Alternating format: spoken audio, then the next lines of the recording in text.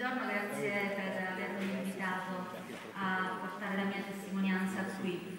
Eh, Francesco Alfano ha detto che dobbiamo consegnare un futuro migliore ai nostri figli. Io sono giornalista e sono anche mamma di due bambini che sono qui e che ho chiesto di, di far fare loro un giro mentre parlavo perché non voglio che sentano raccontata da me la, la storia che poi li, li riguarda versi anche molto da vicino e che li visti anche coinvolti.